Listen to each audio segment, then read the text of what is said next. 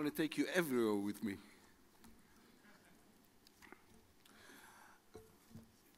בוקר טוב.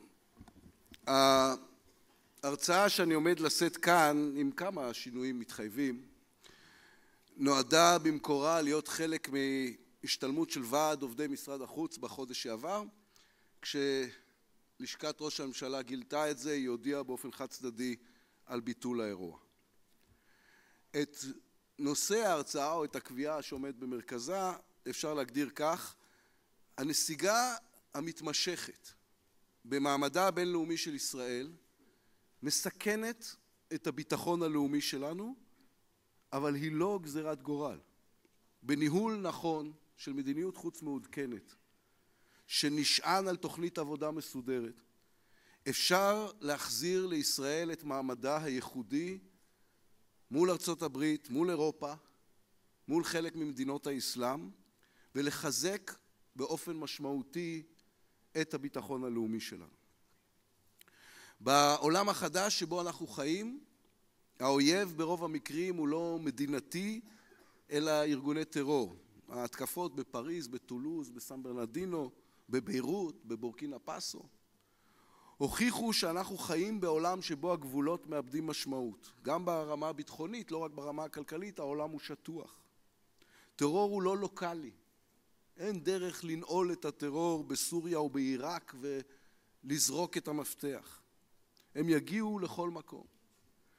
ובעולם החדש הזה תפקידה של הדיפלומטיה עוסק פחות בתיווך בין מנהיגים ופחות בענייני סחר ויותר ויותר בשיתופי פעולה בתחום הביטחוני ובתחום המודיעיני.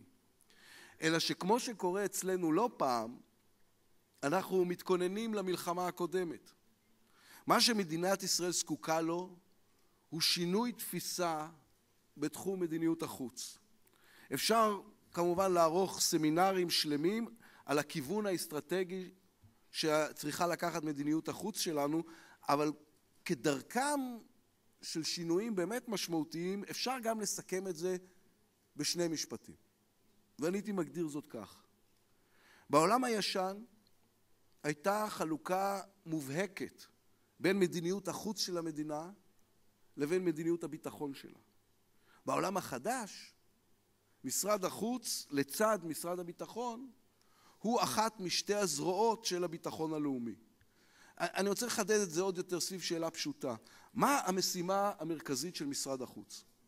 משרד השיכון צריך לבנות בתים, משרד הפנים צריך לטפל ברשויות המקומיות, במה צריך לטפל משרד החוץ? מה הגדרת היעד שלו? בשפה הצבאית קוראים לזה מה ההישג הנדרש. והתשובה שונה ממה שהיא הייתה לפני עשר שנים. כי לפני עשר שנים משרד החוץ היה אחראי על טיפוח היחסים הדיפלומטיים והמסחריים של ישראל. היום משימתו העיקרית היא הביטחון הלאומי שלנו. הדה-לגיטימציה פוגעת בביטחון הלאומי. ההידרדרות מול האמריקאים פוגעת בביטחון הלאומי. המפולת המתמשכת במוסדות הבינלאומיים, בראשם מועצת הביטחון של האו"ם, פוגעת בביטחון הבינלאומי, הלאומי. אפילו ההתרחקות העקבית של הדור הצעיר של הקהילות היהודיות בארצות הברית יוצרת פגיעה בביטחון הלאומי, כי אנחנו מאבדים מנופים מול הקונגרס ומול הבית הלבן. כמו שבונים את משרד הביטחון ומכשירים אותו כדי להתמודד בהצלחה עם האיומים שנמצאים סביב מדינת ישראל או מרחפים סביב מדינת ישראל, כך צריך לבנות זרוע שנייה, משרד החוץ, ולאמן אותו ולתת לו את הכלים המקצועיים והתקציביים ולהעמיד אותו באותו מקום בסדר העדיפויות הלאומי שבו נמצא משרד הביטחון. את האסטרטגיה המדינית שלנו צריך לחלק לשלוש מטרות: ארגון מחדש, עיצוב עקרונות הפעלת הכוח ושיפור הקיים. ארגון מחדש הוא תהליך הכרחי שבמסגרתו יש להחזיר למשרד החוץ את סמכויותיו, לתת לו את המשאבים הדרושים, להגדיר את תחומי האחריות שלו, ליצור תשתית חקיקה שתעגן את הפעילות שלו לשנים הקרובות. עקרונות הפעלת הכוח, בדומה למה שקורה במשרד הביטחון, צריכים להיות מבוססים על, על תפיסה שהיא ברורה ואפקטיבית, מה שנקרא עוצמה חכמה, שזה מושג למי שמכיר שג'וזף ניי טבע בתור תחליף לעוצמה רכה, שזה המושג המקורי. עוצמה חכמה זו עוצמה שנובעת מהפעלה משולבת של ההרתעה הצבאית מצד אחד, וההרתעה שנובעת ממערכת הקשרים ושיתופי הפעולה שישראל יודעת ליצור. במקביל, צריך להוביל וליזום קמפיין הסברה גלובלי שיקבע את ישראל בתודעה העולמית, או שוב יקבע את ישראל בתודעה העולמית, כמדינה מערב, מערבית, דמוקרטית, מתקדמת, כחוד החנית של המאבק בטרור האסלאמי. והקמפיין הזה יעסוק גם בחשיפת פרצופה האמיתי של תנועת ה-BDS והעומדים מאחוריה. לא יכול להיות שאומת הסטארט-אפ תפסיד במאבק ברשתות החברתיות ובמדיה. זה מאבק שיש לנו בו יכולות מוכחות, רק צריך להפעיל אותן נכון. והדבר השלישי הוא שיפור הקיים, שזה לדאוג למעמדה של ישראל במוסדות הבינלאומיים, לקשרים שלה במדינות שונות, להשביח את התפקידים המסורתיים של משרד החוץ בתור מוצב קדמי, שזה זיהוי מנהיגות עתידית ודיפלומטיה ציבורית וקשר לקהילות היהודיות והסברה שוטפת. בגלל אה, קוצר הזמן, אני אתמקד כרגע רק בסעיף הראשון, שזה הארגון מחדש. זה כמובן נושא מאוד רחב, אבל אני אתן רק כמה צעדים שצריך לנקוט. קודם כל, משרד החוץ צריך שיהיה לו in-house, אגף דינמי ואיכותי למודיעין מדיני.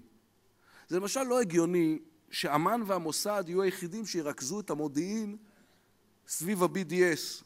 אז נכון שחלק מהמאבק מתנהל ברשתות, וחלק אחר שהמוסד יותר אחראי לו זה המעקב אחרי נתיב הכסף. אבל זירת המאבק הפיזי ב-BDS הוא קמפוסים ומרכזי קניות ואקדמיה וכנסיות.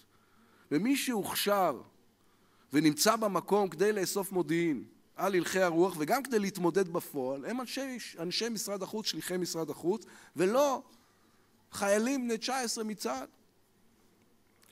צריך לעגן בחקיקה את הסמכויות של משרד החוץ ואת מעמדו של שירות החוץ, ולהחזיר לאחריות המשרד את התחומים שנלקחו ממנו עם השנים או ניתנו כאתנן פוליטי לשרים. בכנסת הקודמת הגיש מטעמנו חבר הכנסת לשעבר רונן הופמן הצעת חוק לביצור וחיזוק מעמדו של משרד החוץ ועובדיו. חבר הכנסת עופר שלח שב והניח את ההצעה הזאת על שולחן הכנסת הנוכחית ואנחנו ניאבק כדי להעביר אותה כדי שיהיו למשרד החוץ את הכלים שהוא צריך. לא מדובר רק בהליך חקיקה אלא במרכיב מתוך תוכנית עבודה מאוד מסודרת שבנינו כדי לשקם את יחסי החוץ של ישראל ולהחזיר לנו את מעמדנו הייחודי בעולם. יש לעגן בחוק, בתור, במסגרת זו, את הפעילות של משרד החוץ מול הקבינט, כולל הערכת אה, מצב מדינית שנתית ותוכנית עבודה שנגזרת ממנה. יש לבטל משרדי ממשלה לא רלוונטיים שלא הוכשרו לטפל ברצינות בעניינים מדיניים. ואת ההסברה הישראלית צריך לרכז במקום אחד בלבד, אגף ההסברה של משרד החוץ. צריך לסיים את המצב האבסורדי שבו ההסברה מחולקת בין חמישה גופים שונים. משרד החוץ, משרד ראש הממשלה, דובר צה"ל, משרד התפוצות והמשרד לביטחון פנים, שמשום מה הוא זה שאחראי על המלחמה ב-BDS. ונקודה אחרונה, יש אנשים מצוינים במשרד החוץ, אבל צריך לרענן את המשרד ולהפיח בו חיים וליצוק בו מחדש גאוות יחידה ולהפוך אותו למשרד משפיע כדי שהממשלה והקבינט וראש הממשלה יחזרו להתחשב בעמדות המקצועיות שלו ולפעול על פיהם. הדיפלומטים בכל הרמות, בכל התפקידים, צריכים להיות רב-משימתיים, מולטיטסקרים. ובשביל זה צריך להשקיע, גם בהכשרות, בהתחלת הדרך המקצועית שלהם, גם בהשתלמויות שוטפות לאורך הקריירה שלהם. אם, אם לסכם את כל הסעיפים האלה במשפט אחד, אין שום טעם במשרד חוץ שאין לו תוכנית אסטרטגית סדורה ואת הסמכויות והמשאבים שדרושים לביצוע שלה. איש לא בעולם, לא בארץ, לא מבין היום מה אנחנו רוצים, מה המדיניות שלנו. לאן הולכת מדינת ישראל בזירה הפלסטינית, בזירה הבינלאומית? מהי תפיסת הביטחון הלאומי שלנו? רוב הבעיות האלה הן בסופו של דבר לא דיפלומטיות אלא פוליטיות. אבל עדיין זה כמעט בלתי נתפס שבעידן של עלייה של דאעש וההתפרקות של סוריה וטרור אסלאמי שמכה באירופה ובארצות הברית, דווקא ישראל במקומות רבים בעולם המערבי נחשבת לזו שמסכנת את שלום העולם. וכדי לתקן אנחנו צריכים להכיר במציאות כמו שהיא. יש איזה ניסיון מתמיד של הממשלה לטעון שהמצב לא נורא כל כך. והטענה הזאת הרי לא מבוססת על עובדות. היא מבוססת על העובדה שהציבור לא באמת יודע להבדיל בין נימוסים דיפלומטיים ולחיצות ידיים וחיוכים למצלמות בכל מיני כנסים בינלאומיים לבין שיתוף פעולה מדיני אמיתי. העובדה המצערת היא שמעולם בכל תולדות המדינה לא היה מצבנו הבינלאומי גרוע יותר מאשר בימים אלה. משבר היחסים עם ארצות הברית הוא החמור ביותר אי פעם. אתמול פה על הבמה הזאת היה לזה הדהוד בנאומו של השגריר שפירו. לא מדובר רק ביחסים הגרועים במופגן בין הנשיא אובמה לראש הממשלה נתניהו, אלא בבעיה מערכתית. הממשל דחק אותנו החוצה מהשיחות על הסכם הגרעין עם איראן. הוא עושה מאמץ גלוי לקרב את המשטר האיראני ולנרמל את היחסים איתו. הוא האשים אותנו כמעט בגלוי בכישלון המגעים עם הפלסטינים. הוא מסרב להתחייב שהוא יטיל וטו על החלטות אנטי-ישראליות במועצת הביטחון, והוא לא מערב אותנו במהלכים שלו בסוריה, למרות שהיא יושבת על הגבול הצפוני שלנו. גם אירופה מובילה קו אגרסיבי. האיחוד האירופי העביר לאחרונה החלטה תקדימית מסוכנת על סימון מוצרים מההתנחלויות, כולל רמת הגולן. ושורה של פרלמנטים אירופאים הודיעו על הכרה חד צדדית במדינה פלסטינית, ואתמול כמובן הודעת שרי החוץ של האיחוד האירופי מחזקת את זה במקום להחליש את זה. במקביל, היכולת שלנו למנוע את הכניסה של נשק מתקדם לאזור הולכת ומתכרסמת. יש חוק ישן ומאוד מדויק שאומר שנשק מתקדם שמגיע לאזור שלנו ייפול במוקדם או במאוחר לידיים הלא נכונות. וישראל מוכרחה לשמור על היתרון הטכנולוגי שלה, אבל בלי קרב בלימה מסודר בזירה הבינלאומית זה לא יקרה. עסקת ה-F-35 עם טורקיה, עסקאות הנשק עם סעודיה ומפרציות, האספקה של ה-S-300 לאיראנים, העובדה שטילי החונט מגיעים לידי החיזבאללה, כל אלה מאיימים על הביטחון הישראלי. והעובדה שהעסקאות האלה נחתמות בלי שישראל תצליח לייצר קרב בלימה מדיני אמיתי היא כישלון חמור. ודווקא בעת הזו, דווקא בתקופה שבה שירות החוץ הוא קריטי מתמיד לביטחון הלאומי, במקום להגדיל אותו, לחזק אותו, ליצור לו תוכנית עבודה מסודרת, ראש הממשלה החליט משיקולים פוליטיים צרים מאוד לפצל את סמכויות המשרד בין שישה שרים שונים פלוס סגנית שר, שאין ביניהם שום תיאום כמובן. יש שני משרדים מיותרים לגמרי, המשרד לעניינים אסטרטגיים והמשרד לענייני מודיעין, שמסבכים ומסרבלים את התמונה עוד יותר. תארו לכם שהייתה פורצת מלחמה, והיה מתברר שעל גולני אחראי משרד ממשלתי אחד, ועל גבעתי אחראי משרד ממשלתי אחר, ועל חיל, לא יודע, חיל האוויר אחראי המשרד הממשלתי השלישי. והם ניזונים מזה שהישראלים לא מבינים מה באמת קורה. הרי כשהישראלי הממוצע, ככל שיש דבר כזה, רואה מעליו מטוס אפאצ'י שטס דרומה לכיוון עזה כדי להפציץ מטרות מחבלים, הוא מבין שהמסוק הזה מייצג את היתרון הטכנולוגי והאיכותי של ישראל. הוא לא יכול להבין והוא גם לא אמור להבין. את המערכת המדינית והדיפלומטית המורכבת שעומדת מאחורי העובדה שהמסוק הזה נמצא דווקא בידינו. מדיניות החוץ שלנו לא עוסקת בייצור קוקטיילים ומסיבות עיתונאים. היא זו שהביאה לידינו את המסוק הזה. היא זו שהביאה לידינו צוללות דולפין בעלות יכולות אסטרטגיות. בזכותה יש לנו כיפת ברזל. על קירות הכור האטומי בדימונה יש עד היום כתובות בצרפתית. למה בצרפתית? כי הצרפתים עזרו לנו לבנות אותו. למה? מפני שזה מה שמביאה מדיניות חוץ. אבל כל מה שציינתי עד עכשיו זה הישגי העבר. אם אנחנו רוצים שגם בהווה ובעתיד העולם יפגין את אותה רמה של מחויבות לביטחון שלנו, אנחנו צריכים לבנות מחדש את מערכת הקשרים שלנו עם העולם. ישראל לא יכולה להרשות לעצמה לא להיות בעלת הברית הקרובה ביותר של ארצות הברית, או לוותר על היחסים עם אירופה. הממשלה פוטרת את עצמה מהעיסוק המתמיד הסיזיפי לעיתים קרובות ביחסינו הבינלאומיים בזה שהיא כל הזמן מטפטפת כל מיני מנטרות ריקות, עם לבדד ישכון, כל מיני סיסמאות, לא חשוב מה אומרים הגויים, חשוב מה עושים היהודים.